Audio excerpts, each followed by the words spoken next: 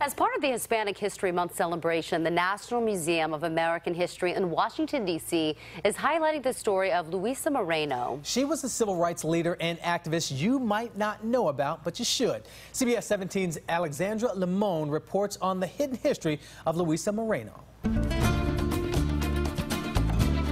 It's a name you probably haven't heard. Blanca Rosa Lopez Rodriguez. She was a labor organizer and a civil rights leader.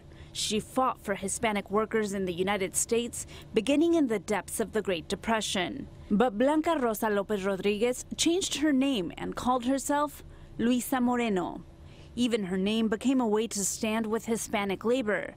In Spanish, Blanca means white and Moreno, brown. Her story is the focus of a new exhibit at the Smithsonian's National Museum of American History.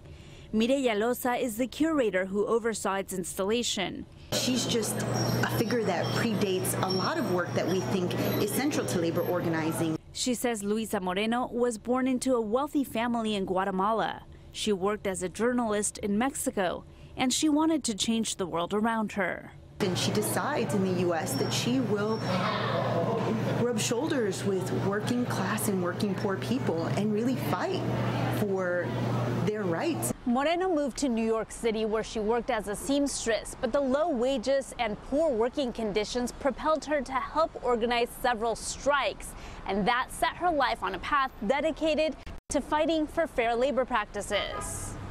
And she decides to organize tobacco workers in Florida, pecan shellers in Texas, and cannery workers in California. Moreno became one of the most prominent labor activists of her time after signing on with the American Federation of Labor, in part because of her powerful writings. She is a poet and an intellectual, and she is a writer and thinker. Moreno was also key in creating the Spanish speaking People's Congress, a California based coalition of Latinos. It was used to lobby Congress for protections for immigrants, like housing and education reforms in the late 1930s and 1940s.